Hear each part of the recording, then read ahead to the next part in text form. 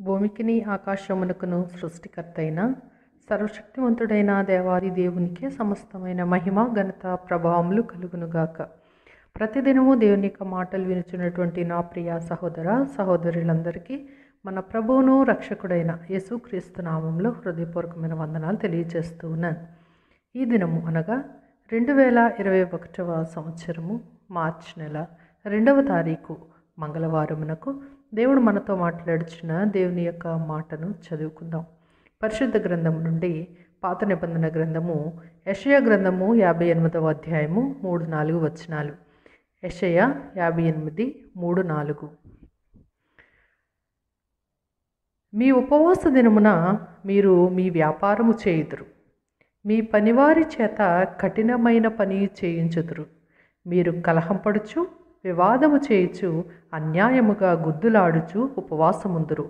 మీ కంఠధ్వని పరమున వినపడినట్లుగా మీరిప్పుడు ఉపవాసముండరు. మరలా చదువుతున్నానండి. మీ ఉపవాస దినమున మీరు మీ వ్యాపారము చేయుదురు. మీ పనివారి చేత కఠినమైన పని చేయించుదురు. మీరు కలహపడుచు వివాదము చేయుచు అన్యాయముగా గుద్దులాడుచు ఉపవాసముందురు. మీ కంఠధ్వని పరమున వినబడినట్లుగా మీరెప్పుడు ఉపవాసం ఉండరు దేవునికి స్తోత్రం. దేవుడు ఈ దినాన మనతో మాట్లాడుతున్నటువంటి మాట నిన్నటి దినాన మూడో వచనాన్ని సగభాగాన్ని మనం ధ్యానించాం. మనుషులు దేవుణ్ణి వేసేటువంటి ప్రశ్న అది. మనుషులందరూ కాదు ఎవరైతే లోకానుసారమైన ఉపవాసం చేస్తూ ఉన్నారో వారు దేవునికి వేసేటువంటి ప్రశ్నను నిన్నటి దినాన మనం ధ్యానించాం. ఈ దినాన ఆ ప్రశ్నకు దేవుడు జవాబిస్తే ఎలా ఉంటుంది? దేవుడు జవాబు ఏమైంది? అని గనక మనం ఆలోచన చేసినట్లయితే ఆయన ఒక్కటే ఒక జవాబు ఇస్తూ ఉన్నాడు. ఏంటంటే ఆయనకు ఇష్టం లేనివి కొన్ని మనం చేస్తున్నాం. ఈ విషయం అందరికీ చెప్తే చాలా బాధ. కొంతమంది దగ్గరికి వెళ్ళి ఇలా చేయకూడదు నువ్వు ఇలా మాట్లాడకూడదు ఇలా రెడీ అవ్వకూడదు ఇలా మీరు ఉండకూడదు అని చెప్పామనుకోండి అస్సలు వినరు. ఎందుకంటే అది వారికి కరెక్ట్. ఎవరి ముక్కు వారికి నిదానం అంట పక్కోడు చెప్పాలా ఎవరి ముక్కు కరెక్ట్గా ఉందనేది. కానీ ఎవరిది వారికే కరెక్ట్ అనుకుంటారు చూడండి. వాళ్ళు మాత్రం ఎవరు ఏది చెప్పినా వినరు. కానీ దేవుడు ఏం చెప్తున్నాడో మనం కనీసం ఈ సంవత్సరమైనా ఇప్పుడైనా అసలు మనం ఎలాంటి ఉపవాసం చేస్తున్నాం? ఎలా చేయకూడదని దేవుడు అంటున్నాడు? ఏం చేస్తూ ఉపవాసం ఉండకూడదు అంటున్నాడు. ఒకవేళ మనం అలా ఉంటే సరి చేసుకోవడానికి దేవుడి దినాన్ని మనతో మాట్లాడుతున్నాడని గ్రహించాలి. ఈ యొక్క మూడవ వచనము ఆ యొక్క ప్రశ్నకు జవాబుగా దేవుడు మొట్టమొదటిగా ఏమంటూ ఉన్నాడంటే మీరు ఉపవాస దినమున అంటే మీరు ఉపవాసం ఉంటున్నారు కరెక్టే. మీరు ఏదైతే ఉపవాసం అనుకుంటున్నారో ఆ దినాన్న మీరు ఏం చేస్తున్నారంటే వ్యాపారం చేస్తున్నారు. ఏమండి? వ్యాపారం చేయకూడదా? అంటే చేయొచ్చు కానీ ఒకవేళ మనం చేసే వ్యాపారంలో నీతి న్యాయం లేకుండా గనక జరుగుతుంటే అలా చేయకూడదు. అండి వ్యాపారం ఉంది. వ్యాపారంలో కూడా నీతి నియమాలు ఉన్నాయి. అలా అని కొంతమంది ఎక్కువగా అన్యాయంగా గనక మనం వ్యాపారం చేస్తే అప్పుడు ఉపవాసం ఉండి ఏం ప్రయోజనం అన్నట్టు దేవుడు మాట్లాడుతూ ఉన్నాడు. అలాగే ఒక తండ్రికి ఇద్దరు కుమారులు ఉన్నారు ఆ కుమారులు ఇద్దరు తప్పిపోయిన కుమారుడు స్టోర్ మనందరికీ తెలుసు. ఆ చిన్న కుమారుడు ఆస్తిని తీసుకెళ్ళిపోయి ఏం చేశాడండి? దుర్వ్యాపారం చేశాడు. దుర్వ్యాపారం చేసినప్పుడు అతను బుద్ధి వచ్చినప్పుడు తండ్రి దగ్గరికి తిరిగి వచ్చాడు. వ్యాపారం చేసేసాడు. బుద్ధి వచ్చినప్పుడు తిరిగి వచ్చాడు. అతను మంచిది. అందుకే తప్పిపోయిన కుమారుడు గురించి ప్రతిసారి మనం చెప్పుకుంటాం. కానీ దేవుల్లో ఉన్నామంటూ విశ్వాసులమంటూ రక్షణ పొందిన వారమంటూ ఉపవాసం ఉంటున్నామంటూ మనుష్యులకు కనబడవలని చేస్తున్నాం కదా ఉపవాసం. వారు మాత్రం చెయ్యకూడని మొట్టమొదటి పని ఏంటంటే వ్యాపారం చేయకూడదు. ఇంకొకటి మీ పనివారి చేత కఠినమైన పని చేయించుదురు. దేవుడు దీన్ని అస్సలు సహించడండోయ్ ఎందుకు నేను ఈ మాటలు చెప్తా ఉన్నానంటే కఠినమైన పని చేస్తున్నటువంటి ఐగుప్తు దాసత్వంలో ఉన్నటువంటి ఇష్రాయేలీల మొరను దేవుడు ఆలకించాడు. దేవునికి స్తోత్రం. మీరు ఉపవాసం ఉండి మేము ఉపవాసం ఉన్నప్పుడు నువ్వు ఎందుకు వినవు? నువ్వు ఎందుకు చూడవు? మేము మా హృదయాల్ని మా ప్రాణాల్ని ఆయాసపరుచుకుంటే నువ్వు ఎందుకు లక్ష్య పెట్టవు అని అడుగుతున్నటువంటి వారికి అదొక్కటే సమాధానం. నీవెవరి చేత అయితే కఠినమైన సేవ చేస్తున్నావో పని చేస్తున్నావో వారిని నీచంగా చూస్తూ వారి చేత నువ్వు లాభ్యం పొందుతూ ఉన్నావో వారు గనక దేవునికి ప్రార్థన చేస్తే ఏమవుతుందో తెలుసా?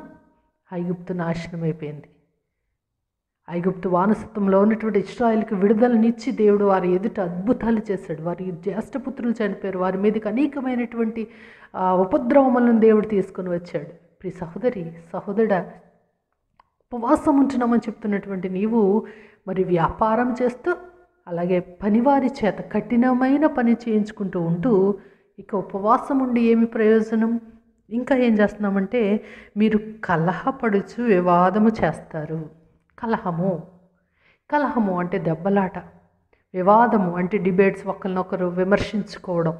ఇంకా అంటాడు అన్యాయంగా గుద్దులాడుచు ఉపవాసం ఉంటున్నారు మీ ఉపవాసంలో ఏమేమి ఉన్నాయి ఈ ఉపవాసంలో అన్నం పానం మానేయడం నేను ఉపవాసం ఉన్నానని అందరికీ చెప్పుకోవడం అవి కాకుండా దేవుడికి మాత్రమే కనిపించేవి దేవునికి ఇష్టము లేనివి వ్యాపారాలు ఈ యొక్క కఠినమైన పనులు చేయించుకోవడాలు గుద్దులాడుకోవడాలు దెబ్బలాడుకోవడాలు విమర్శించుకోవడాలు వివాదాలు పెట్టుకోవడాలు ఇవన్నీ కూడా దేవునికి ఇష్టము లేదు. మరి ఎలాగ ప్రశ్నిస్తామండి దేవుణ్ణి? నా ప్రార్థన నువ్వు ఎందుకు ఆలకించట్లేదు? నా ఉపవా నేను ఉపవాసం చేస్తున్నాను నన్ను ఎందుకు చూడట్లేదు? అని ఎలాగో అడగగలుగుతామండి? అలా అడిగిన వారికి దేవుడు ఎంత స్పష్టంగా మాట్లాడుతున్నాడు. ఇంకా ఈ ఈ యొక్క అధ్యాయంలో ఎలా ఉపవాసం ఉంటే ఆయనకి ఇష్టమో ఎలా ఉపవాసం ఉంటే ఆయనకు అనుకూలమో ఎలా ఉపవాసం ఉంటే ఆయన మెచ్చుకుంటాడు దానికి ప్ర- తగిన ప్రతిఫలాన్ని ఏమి ఇస్తాడో ఇంకా మనం చాలా ధ్యానపూర్వకంగా నేర్చుకున్న బద్దులమై ఉన్నాం. ఇక చివరిగా మీ కంఠధ్వని పరమున వినబడినట్లుగా మీరిప్పుడు ఉపవాసం ఉండరు దేవుడు గనక నిన్ను ప్రశ్నిస్తే నీ కంఠధ్వని పరలోకమందున్న తండ్రికి కనబడులాగా వినబడులాగా ఎప్పుడైనా ఉపవాసం ఉన్నావా అని నిన్ను ప్రశ్నిస్తే నీ సమాధానం ఏంటి ఓకే వాక్యం తెలియకముందు దైవజనుల దేవుని యొక్క వాక్యం తెలియచేయకముందు లేక వాక్యం చదవకముందు వినకముందు నీవు ఎలా ఉన్నావో? ఓకే వినిన తరువాత యేసు క్రీస్తు మత్త వార్త ఆరో అధ్యాయంలో పరలోకమందున్న మా తండ్రి అని మీరు ప్రార్థన చేయాలని నేర్పించినప్పటి నుంచి తెలిసిన ప్రతి ఒక్కరు కూడా అలాగే ప్రార్థన చేస్తున్నాం. మనం చేసే ప్రతి ప్రార్థన ప్రభు అయిన యేసు క్రీస్తు ద్వారా మాత్రమే తండ్రి ఆలకిస్తాడు అంటే అలాగే చేస్తున్నాం. మంచిది. అలాగే మీరు ఉపవాసం ఉన్నప్పుడు ఎలా ఉండాలి? మీరు ధర్మం చేస్తున్నప్పుడు ఎలా ఉండాలి? మీరు ప్రార్థన చేస్తున్నప్పుడు ఎలా చేయాలో నేర్పించినటువంటి పరిశుద్ధ గ్రంథంలోని మాటలను దేవుని యొక్క మరి చిత్తమును మనం గుర్తెరిగి వాటిని అనుసరించి మనం చేసినట్లయితే దానివల్ల మనం మంచి ప్రతిఫలాలు పొందుకుంటాము అనేటువంటి విషయాన్ని మర్చిపోకూడదు. ఇక మీ కంఠధ్వని పరమునకు వినబడాలంటే ఇప్పుడు మనం ఏం చేయాలి? మన కంఠధ్వని పరలోకం వినబడాలంట. అలా చేయాలంటే ఉపవాసం. అలా చేయాలంటే పెద్ద మైక్ ఒకటి పెట్టుకొని పిలిస్తే పరలోకమందున దేవునికి వెనబడిపోతుందా అండి గమనించండి ఈ యొక్క మాటకు సమాధానం దేవుడు అంటున్నాడు మీ కంఠధ్వని పరమునకు వెనబడినట్లుగా మీరు ఎప్పుడూ ఉపవాసం ఉండరు. ఉన్నారా? ఆ జవాబు మీకు దేవునికి ఉండాలి. ఈ మాట వింటున్నటువంటి మనం దేవునితో మాట్లాడుతూ అనాలి ప్రవ్వా నేను చేసే ప్రార్థన పరలోకమందున నీ సన్నిధికి చేరడం లేదా? దానికి గల కారణం ఏంటి? ఓహో ఈ దినాన్ని మీరు మాట్లాడేటువంటి ఈ మాటలను బట్టి ఇవి నేను చేయిస్తూ ఉన్నాను కదా. వీటిని నేను ఈ ఈ దినం నుంచి ఈ సంవత్సరం నుండి నేను అవి చేయకుండా ఉండడానికి నాకు ఒక మార్గాన్ని చక్కని ఆలోచనని మంచి జ్ఞానాన్ని బుద్ధిని దయచేయమని దేవుడిని అడుగుదాం. దేవుడు తప్పనిసరిగా మరి మన ఉపవాసమును మన ప్రార్థనను మన విశ్వాస జీవితాన్ని చూచి ఆయన చిత్తములో మనకు అన్నీ కూడా దయచేస్తాడనేటువంటి విషయాన్ని మర్చిపోకూడదు. యశయ గ్రంథకర్త యాభై ఎనిమిదవ అధ్యాయంలో ఒక మాట అంటారు. యాభై తొమ్మిదవ అధ్యాయం రెండవ వచనంలో చదువుతా ఉన్నాను. యాభై తొమ్మిదవ అధ్యాయం మొదటి వచనం చదువుతా ఉన్నాను. రక్షింపనేరకయుండునట్లు యహోవ హస్తం కుర్చ కాలేదు. విననేరకుండునట్లు ఆయన చెవులు మందము కాలేదు. మీ దోషములు మీకును మీ దేవునికిని అడ్డముగా వచ్చెను. మీ పాపములు ఆయన ముఖమును మీకు మరుగుపరచెను. గనుక ఆయన ఆలకింపకున్నాడు. మీ చేతులు రక్తము చేతను మీ వేలు దోషము చేతను అపవిత్రపరచబడి ఉన్నవి. మీ పెదవులు అబద్ధములాడుచున్నవి మీ నాలుక కీడును బట్టి మాటలాడుచున్నది.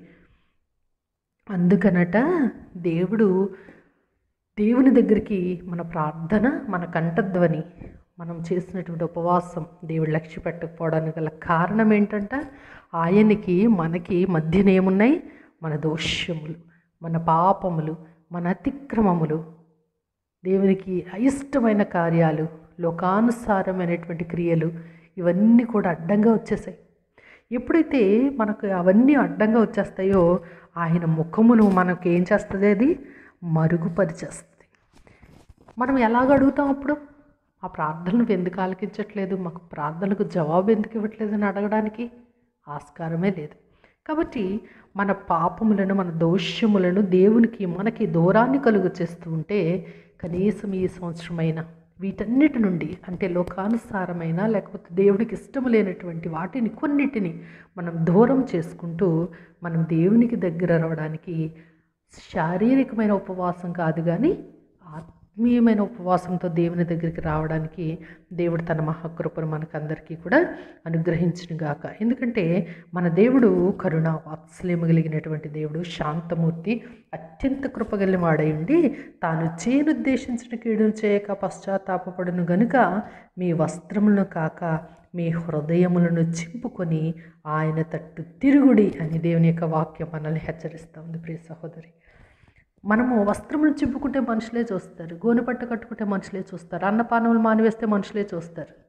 కానీ హృదయాన్ని చింపుకుంటే హృదయాన్ని తెరిస్తే హృదయంలో దేవుని యొక్క వాక్యాన్ని ఉంచుకుంటే ఆయన మన ప్రార్థన ఆలకిస్తాడు మన పాపములను క్షమిస్తాడు. మనం మన పాపములను ఒప్పుకుని విడిచిపెట్టాలి. అప్పుడు ఆయన మనల్ని క్షమించి ప్రేమించి కనికరించి మన వాక్యము మనం మన ప్రార్థనను చెవియొగ్గి ప్రతి విధమైన ఆశీర్వాదం దయచేస్తాడు.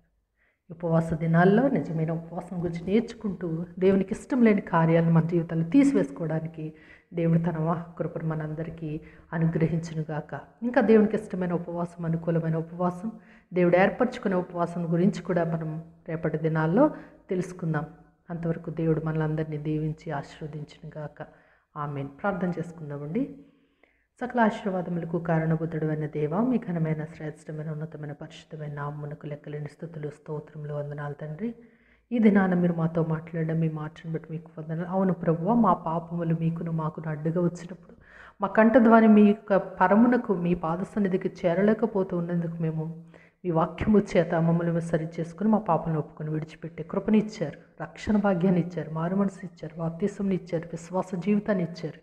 ఇంకా మేము ఈ లోకానుసారమైనటువంటి క్రియలు మీకు చేస్తూ దూరం అయిపోవడం మాకు ఇష్టం లేదు కనుక మీ వాక్యం మా హృదయంలో ఉంచుకొని మీ వాక్యానుసారం మేము చేయడానికి మీ శక్తిని మీ బలమును మీ కృపను మీ దయను మాకు అనుగ్రహించమని వింటున్న ప్రతి ఒక్కరిలో నిజమైనటువంటి ఉపవాసం చేయటం మీకు ఇష్టమైన ఉపవాసము మీరు మా ప్రార్థనలకు చెవిగా ఆలకించేటువంటి ఉపవాసం మా ప్రార్థనలకు జవాబిచ్చేటువంటి ఉపవాసాలు మేము చేయటం మాకు నేర్పించమని ఈ మాటలు వింటున్న ప్రతి ఒక్కరిలో మారు మనసును దయచేయమని ఎవరికి వారే తమ పాపం తమ్ముకోవడానికి మీ సన్నిధిని మీ కృపను అనుగ్రహించమని తద్వారా మీరే సమస్త మహిమ ఘనత ప్రభావాలు పొందుకోమని అతి త్వరలో భూమి మీదకి మరలా మా ప్రభును ప్రిరక్షకుడైన యేసుక్రీస్తు వారి శ్రేష్టమైన నామంలో అడిగి వేడుకొని ప్రార్థిస్తున్నాము తండ్రి. Amen amen amen. దేవుని నామానికి మహిమ కలుగునుగాక మీ అందరికీ నా వందనాలండి. నేను మీ సహోదరి జ్యోతి డానియల్.